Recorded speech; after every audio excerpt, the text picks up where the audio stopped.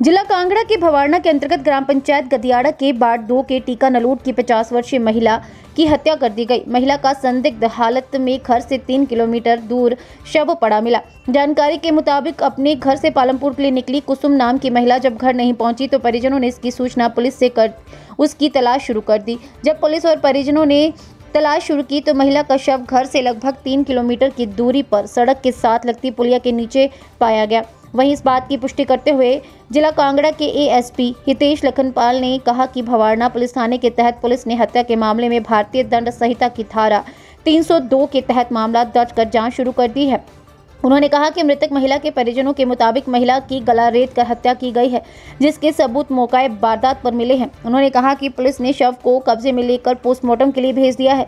Police ने अपने बयान में महिला के गले में काटने के निशान बताए हैं। उधर मृतका के पति कल्याण चंद नर पुलिस से मामले की जाँच और दोषियों को पकड़ने की गुहार लगाई है। हितेश लखनपाल ने कहा कि फोरेंसिक टीम द्वारा भी मौके पर सबूत जुटाए गए हैं। आरोपियों को पकड़ने के लिए पुलिस द्वारा छानबीन शुरू कर दी गई है और जल्द ही इस हत्या में शामिल लोगों को पुलिस द्वारा पकड़कर सलाखों के पीछे भेजेगी। हिमाचल प्रस्तुत धर्मशाला से राकेश कुमार की रिपोर्ट। देखिए, कल शाम की सूचना हमें मिली है। इसमें कल्याण चंद नाम के व्यक्ति हैं। उन्होंने बताया कि उनके धर्मपत्नी जो कहीं गई थी, निरंकारी सत्संग सुनने, वो शाम को जब बात हुई है, फिर बेटे को भेजा था लाने के लिए। उसके बाद से वो लापता थे। उसके बाद ये खुद और अपने साथ, अपने रिलेटिव को लेके वो उनको ढूँढने की कोशिश की है। जब पुलिस को इसका पता लगा है तो पुलिस ने धारा 302 में मर्डर के तहत जो भवारना थाने में जो है हमने आ, केस रजिस्टर किया है। एफएसएल की टीम भी विज़िट कर चुकी है और अभी जो है इसमें इन्वेस्टिगेशन जारी है।